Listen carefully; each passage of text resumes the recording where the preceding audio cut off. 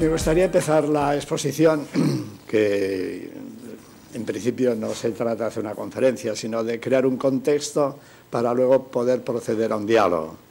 Me gustaría empezarla con una cita de, un eh, conocido mm, escritor, investigador, no voy a decir todavía quién es, para que eh, os planteéis un poco de quién puede ser esta cita. ¿no?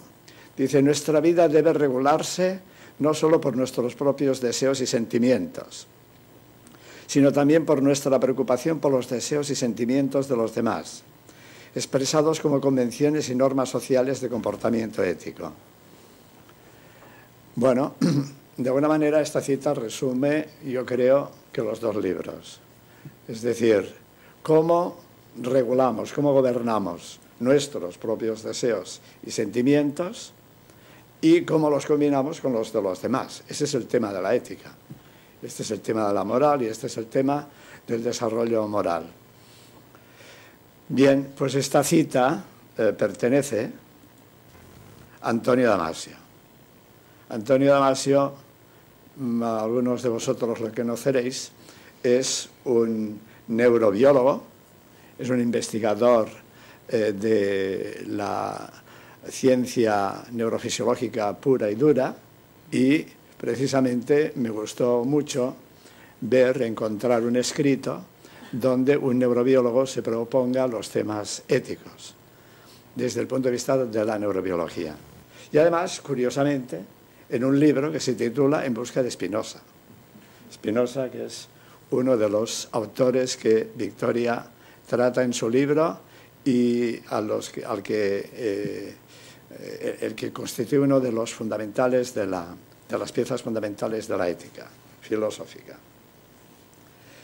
Entonces, eh, claro, la cuestión de integrar desde el punto de vista psicológico la, el desarrollo de una conciencia moral, como muy bien antes Raymond ha aludido, este es un tema que se plantea no solamente desde el punto de vista eh, filosófico, qué es la ética, sino desde el punto de vista psicológico, cómo se forma la conciencia moral. Porque la conciencia moral es innata. Precisamente, si fuera innata, el título de mi libro, El error de Prometeo, no tendría sentido, porque, eh, porque parte del supuesto de que los dioses, en el mito de Prometeo, eh, no le dieron a los hombres, no les dieron la conciencia moral. Si se lo hubieran dado innatamente, no se hubiera planteado esto. Ni la filosofía se habría planteado cómo se llega a la, a la concepción de la ética. Hay algunos, algunas investigaciones recientes en neurobiología, en neurofisiología, que apuntan a bases neurofisiológicas de, de la ética. Por ejemplo, las famosas neuronas espejo, ¿eh? que serían las bases de la, de la eh, empatía, de la compasión, ¿eh? del sentimiento por el otro. Pero a la vez vemos, y esto no está todavía no se ha identificado la neurona, ¿no? pero a la vez vemos que justamente nuestro comportamiento muchas veces está dictado por criterios egocéntricos, por criterios egoístas, por criterios nada altruistas. O sea que, ¿cómo se resuelve esta, esta dificultad de integrar unas eh, tendencias con las otras? Un segundo punto eh, que tiene que ver con este es de qué manera estas tendencias se forman evolutivamente o son innatas y de qué manera luego se articulan en función de nuestra autonomía psicológica y por tanto de nuestro bienestar psicológico. ¿Qué relación tiene el gobierno de las emociones o la regulación moral en el bienestar psicológico? En definitiva, el subtítulo del libro es Psicopatología del desarrollo moral. Psicología, con el pato está puesto entre paréntesis, porque se puede leer psicología del desarrollo moral o psicopatología del desarrollo moral o patología del desarrollo moral. Aquí hay, en el, en el título de mi libro, hay un pequeño homenaje a dos autores. Uno es eh, Antonio Damasio, justamente, que tiene su libro del error de Descartes, eh, y otro es a Castilla del Pino, que tiene su libro de psicopatología eh, con el pato entre paréntesis. Con eso, ¿qué quiero decir? Pues quiero decir que por una parte hay una consideración de las precisamente de ese texto de Antonio Damasio, ¿no? de las bases neurofisiológicas de la conciencia moral, y por otra parte, una consideración de la psicopatología como un proceso evolutivo, a la vez que un proceso estructural. Es decir, la psicología del desarrollo moral sigue un proceso de desarrollo y la patología es un elemento que se puede introducir ahí en la medida en que ese desarrollo no es armónico, no es integrado, o en la medida en que hay un conflicto entre las diversas estructuras que eh, estructuran la conciencia moral.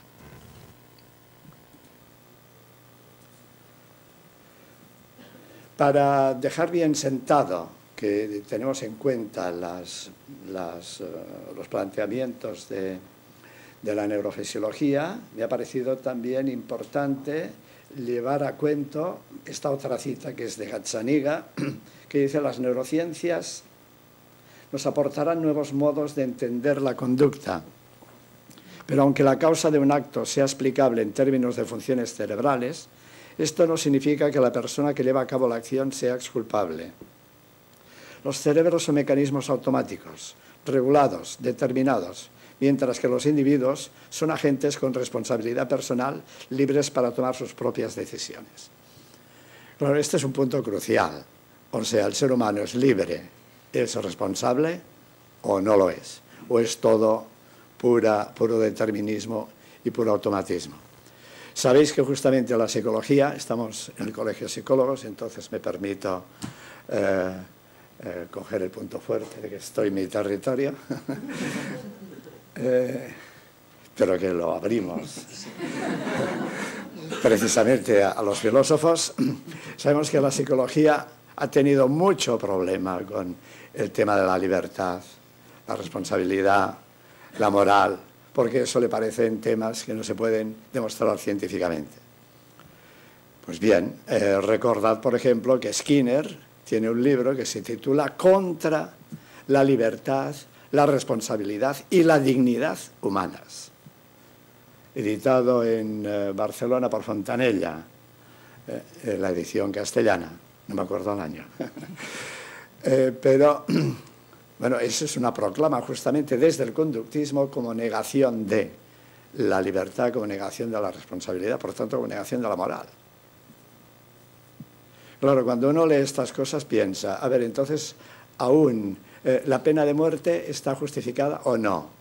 Puedes mirarlo desde dos maneras. Si piensas en la persona no responsable, entonces no se la puede culpar. Si piensas que es un cerebro eh, que está eh, irreversiblemente dañado, mejor eliminarlo porque así no continuará haciendo, haciendo barbaridades. O sea que estas ideas deterministas que niegan la responsabilidad, que niegan la, moral del acto humano, porque niegan la libertad, estas ideas deterministas, en definitiva, son un alegato contra, como decía muy bien Skinner, ¿no? Él lo hacía activamente, quería ir contra, contra la dignidad humana y contra la libertad y la responsabilidad humanas.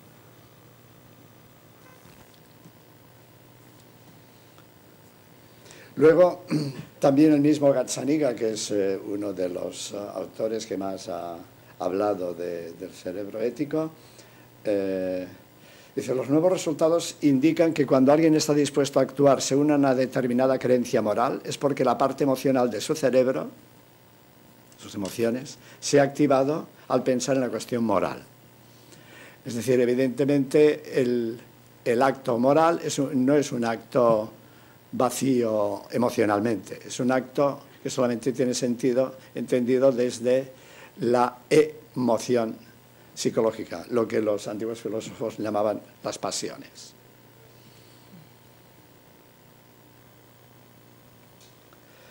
Bueno, entonces, partiendo del supuesto que eh, la conciencia moral no es innata en el ser humano, puede haber en el ser humano, igualmente que hay para la música, hay áreas del cerebro particularmente activas como respuesta al estímulo musical o igualmente que para el lenguaje hay zonas particularmente específicas eh, que pueden eh, generar la gramática universal.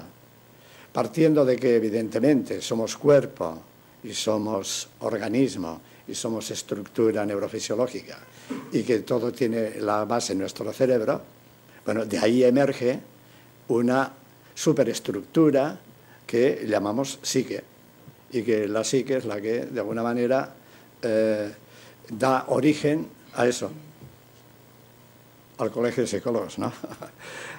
si hablamos de psicología es porque creemos que existe una estructura sintética que, es capaz de dar unidad, sentido y, dirección a todos nuestros actos, a nuestros pensamientos y a nuestras eh, posiciones en el mundo. Entonces, suponiendo pues que la naturaleza, en la naturaleza no estaba prevista la conciencia humana, pues eh, hubo que eh, encomendarse a las convenciones sociales, al nomos.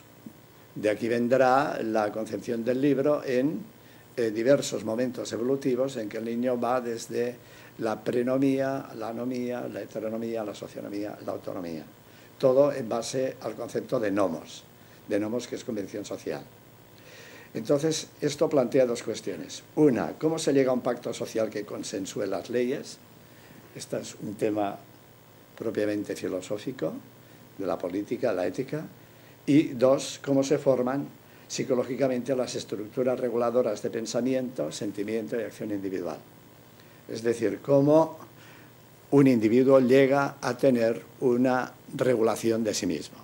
Y en ese punto coinciden los dos libros que hoy presentamos, ¿no?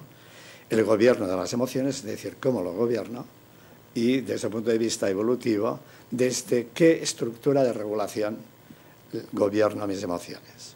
Si yo me regulo de manera anómica, pues eh, mis emociones vendrán reguladas por los deseos, por los impulsos, por las necesidades, pero no tendrán en cuenta, como decía en la primera cita Damasio, no tendrán en cuenta las necesidades y los sentimientos y los deseos de los demás.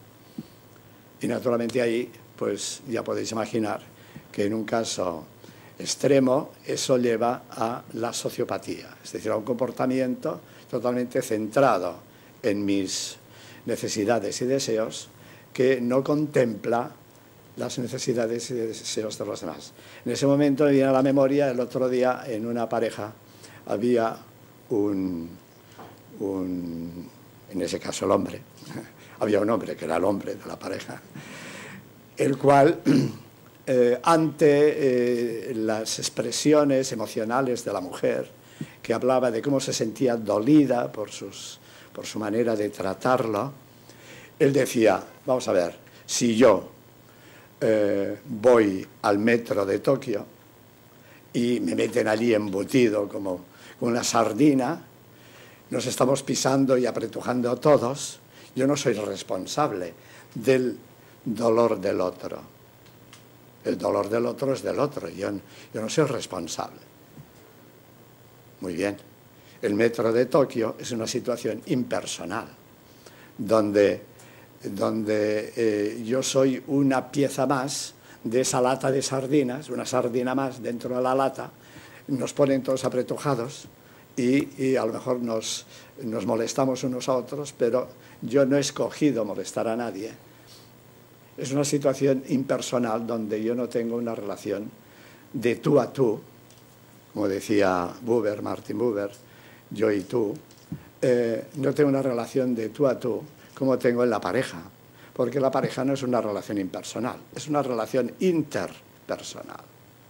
Es una relación de yo y tú.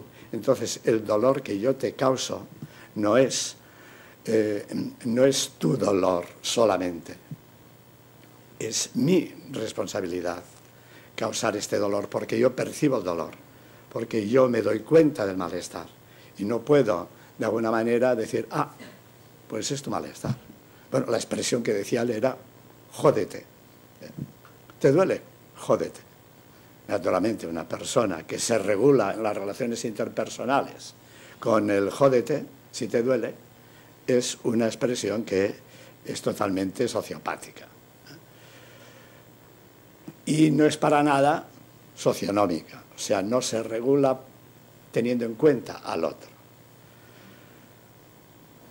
Me estoy enrollando y eso no, sé ni lo que dura ni, ni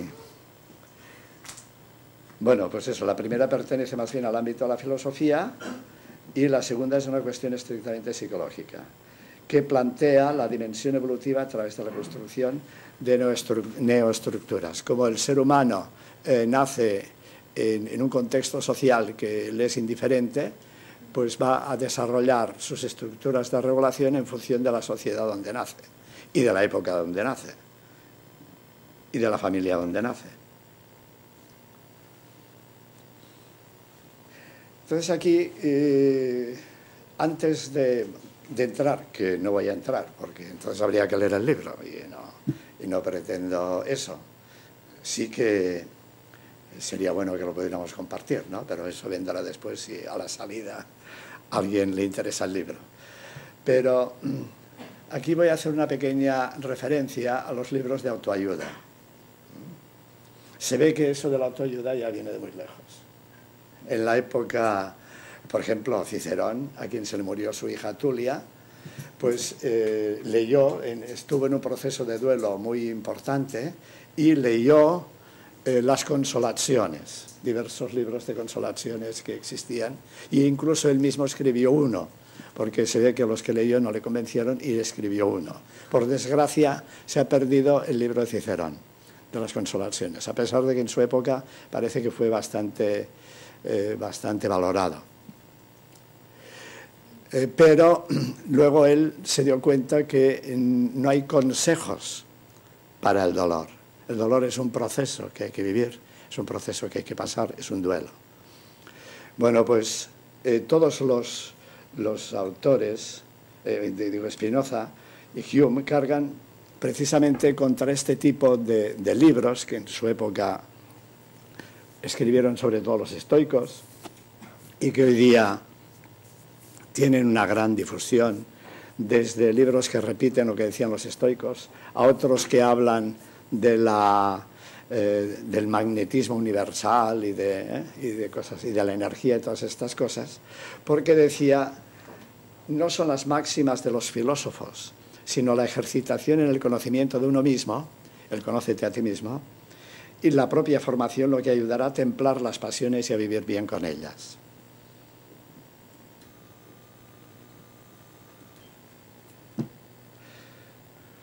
Otra cita, esta la he tomado del libro de, Victoria, eh, me, ha, me, ha hecho, me ha hecho especial impacto porque es de Rousseau, cuando dice, el hombre social siempre fuera de sí solo sabe vivir en la opinión de los otros y por decirlo así, solo del juicio de ellos extrae el sentimiento de la propia existencia. Esta cita eh, nos habla claramente de eh, cómo la persona se regula, la persona que se regula a través de los otros, en la teoría del desarrollo moral, esto se lee como heteronomía, si es la norma, o socionomía, si, es, si son las relaciones interpersonales. O sea, lo que quiero decir con ello es que eh, dentro de la, de la filosofía hay muchos conceptos que precisamente se recogen en el modelo del desarrollo moral, como el concepto de heteronomía, como el concepto de anomía. Aquí el otro día estamos hablando si llamarle anomía o anomia, porque, pero claro, si es heteronomía, porque tiene que ser anomia. Y si es autonomía, porque tiene que ser anomia. No es autonomía, sin autonomía, pues anomía. Estos conceptos están en la filosofía.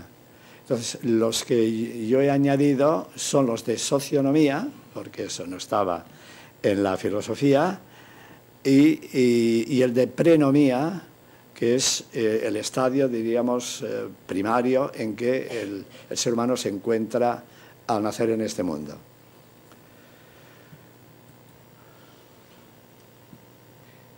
Esta es otra cita del libro de, Victoria, donde se dice el autogobierno no se orienta de acuerdo con opciones abstractas del bien y del mal, sino que consiste más bien en una pragmática, en un ejercicio para conseguir un ánimo equilibrado a base de aprender de la propia experiencia, encajar las adversidades, aceptar el orden de la naturaleza, darse cuenta de los propios límites.